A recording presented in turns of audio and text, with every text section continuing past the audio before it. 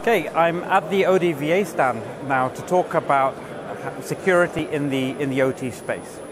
Now, there are a number of ways in which assets in the OT space uh, can, be, can be secured.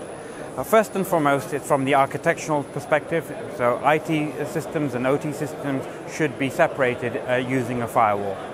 Now here I'm going to demonstrate a number of different, uh, different concepts, uh, specifically concentrating on, uh, on CIP, CIP, security and how CIP security can, can be used to protect your, the integrity of your systems as well as the algorithms that exist uh, within your, within your uh, programs.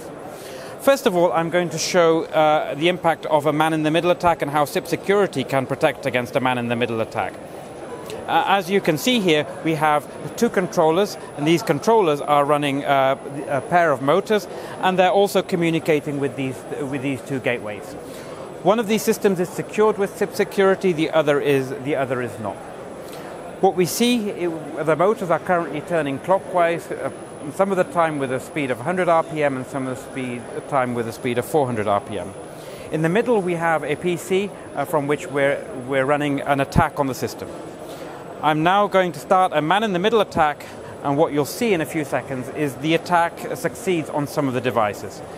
The first thing we see is with this gateway device, uh, instead of blinking green, the LEDs are now blinking red. So the attack has had uh, an impact on the operation of, of our machine. The next thing we see that the motor, instead of running uh, forwards at 100 and 400 RPM, is now running backwards at 1500 RPM. The concept of CIP security uses uh, transport layer security and uh, datagram transport layer security in order to ensure the encryption of the packets and to ensure that the attack is, uh, is not successful. And as, as, we saw through that, uh, that demo, the secured system, uh, the, the, both the, the, LEDs continue to blink green and the motor continued to operate as it was, uh, as it was designed to do. The challenge we have in the OT space is, is setting this up. And in order to achieve that, we have a, a tool called FactoryTalk Policy Manager, which uh, eliminates the complexity of setting up the certificates or the keys needed to ensure secure communication. FactoryTalk Policy Manager allows people to define a security policy that aligns with their, with their architecture. And this is what we see here. We have an architecture consisting of a line controller and a number of different zones. And within the, within the, uh, the, the tool, we can see how those zones are, are secured. Also on this panel, we see a number of enabling technologies.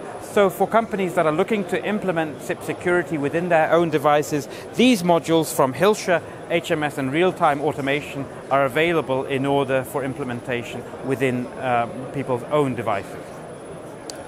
Last but not least, we're also showing the integration with the, uh, the IT security policy. Here we show a security device that can be used, for example, for deep packet inspection and monitoring of the traffic on the, on the network.